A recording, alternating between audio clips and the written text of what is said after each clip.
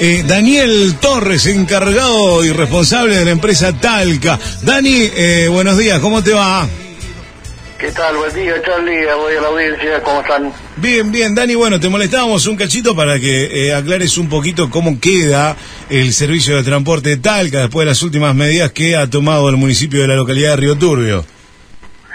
Sí, mira, Charlie, eh, hasta el momento la, el recorrido ha quedado en la misma modalidad de las semanas anteriores. Ajá.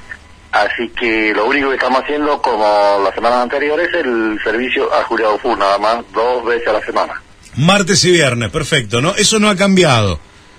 No, eso no ha cambiado para nada. Lo de Julio Full es lo único que no ha cambiado, ha quedado igual. Este, lo demás te queda suspendido todo. Perfecto, hasta nuevo aviso. ¿Hay una posibilidad de que el próximo domingo te puedas eh, juntar con autoridades de la localidad de la ciudad de Río Turbio para ver cómo va a seguir esto? Sí, es correcto, Charlie. El día domingo ya tendríamos noticias, este sería el próximo domingo, tendríamos noticias ya de si es que se va a continuar con el servicio y cómo se va a continuar. Ajá, ok. Bueno, entonces, eh, de manera normal, entre paréntesis, para Julia Dufour, los días martes y viernes en los mismos horarios no ha cambiado absolutamente nada. Así quedamos. Quedan los mismos horarios y de martes y viernes nada más. Buenísimo.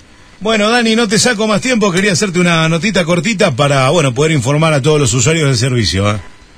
Bueno, Charlie, eh, el agradecido soy yo y bueno, eh, a tu disposición, cuando lo requieras, este, estoy a tu disposición.